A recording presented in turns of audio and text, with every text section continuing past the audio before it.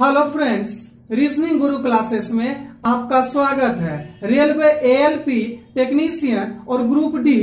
Examination में सामान्य विज्ञान यानी जनरल साइंस का क्या सिलेबस रहेगा किस किस चैप्टर से क्वेश्चन पूछे जाएंगे और कितना क्वेश्चन पूछा जाएगा आज हम आपको यही बताएंगे तो मित्रों शुरू करते हैं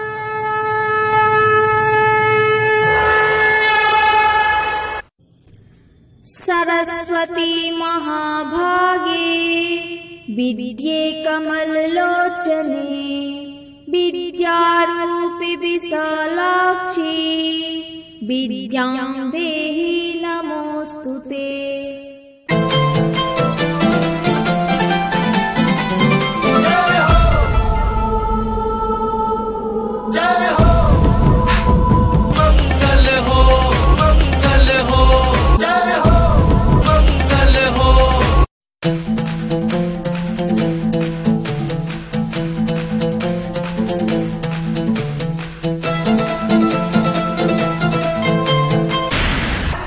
Reasoning by Reasoning Guru Mishra Sir. For SSC, Bank, Railway, Police Force. Mobile number 970854334. Hello friends, reasoning Guru classes में आपका स्वागत है रेलवे एएलपी टेक्नीशियन और ग्रुप डी एग्जामिनेशन में सामान्य विज्ञान यानी जनरल साइंस का क्या सिलेबस रहेगा किस किस चैप्टर से क्वेश्चन पूछे जाएंगे और कितना क्वेश्चन पूछा जाएगा आज हम आपको यही बताएंगे तो मित्रों शुरू करते हैं ये वीडियो हाँ तो दोस्तों रेलवे एग्जाम 2018 एएलपी टेक्नीशियन और group D syllabus for general science यानी सामान्य विज्ञान हाँ तो दोस्तों इस बार जो रेलवे एएलपी टेक्नीशियन और ग्रुप डी एग्जामिनेशन होगा उसमें सामान्य विज्ञान यानी जनरल साइंस का क्या सिलेबस होगा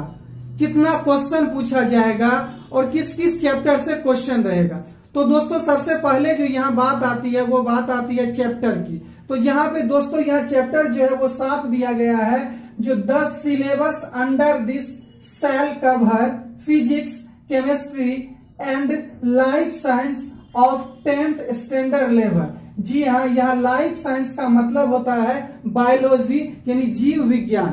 तो दोस्तों यहाँ जहां तक सब्जेक्ट की बात है तो मात्र तीन ही सब्जेक्ट है सामान्य विज्ञान यानी जनरल साइंस के लिए फिजिक्स केमिस्ट्री और बायोलॉजी यानी लाइफ साइंस तो यही तीनों से आपको इस बार क्वेश्चन पूछा जाएगा अब अगला बात ये आता है दोस्तों जो कितना क्वेश्चन पूछा जाएगा हाँ तो दोस्तों इस बार जो क्वेश्चन पूछा जाएगा वो रहेगा 20 से 25 जी हाँ इस बार रेलवे एएलपी टेक्नीशियन और ग्रुप डी में जनरल साइंस यानी सामान्य विज्ञान से जो क्वेश्चन रहेगा टोटल वो कितना रहेगा तो बीस से पच्चीस रहेगा हाँ अब ये कहीं नहीं दिया गया है जो एक सब्जेक्ट से यानी फिजिक्स से कितना रहेगा या फिर केमिस्ट्री से कितना रहेगा या फिर लाइफ साइंस यानी बायोलॉजी से कितना रहेगा ऐसा नहीं दिया गया हाँ लेकिन एक चीज दिया गया है जो क्वेश्चन का जो लेवल रहेगा यानी क्वेश्चन का जो स्तर होगा क्या लेवल वो मेंटेन करेगा तो वो वो लेवल मेंटेन करेगा टेंथ स्टैंडर्ड यानी दसवीं स्तर तक का फिजिक्स केमिस्ट्री बायोलॉजी यानी लाइफ साइंस से क्वेश्चन रहेगा वही लेवल मेंटेन करेगा यानी दसवीं स्तर तक का यानी टेंथ टेंथ लेवल तक का जो रहेगा सिलेबस वही जो है मेंटेन होगा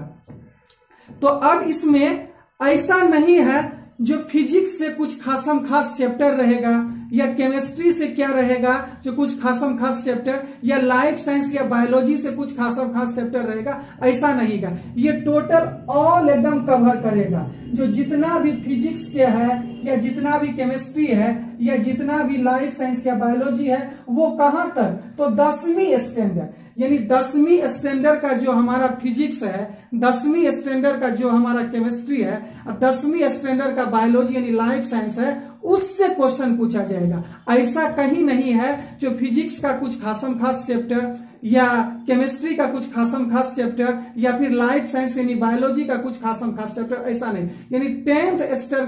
जो है स्टैंडर्ड का जितना है उतना ही मेंटेन होगा तो दोस्तों हम यही कहेंगे जो आपको ये वीडियो अच्छा लगा होगा आप सब्सक्राइब करना नहीं भूलिएगा साथ ही लाइक जरूर कीजिएगा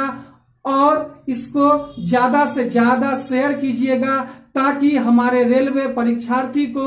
इस इसके थ्रू जानकारी मिल सके और वो भी इस सिलेबस को समझ सके तो दोस्तों आज के लिए इतना ही धन्यवाद गुरु ब्रह्मा विष्णु देव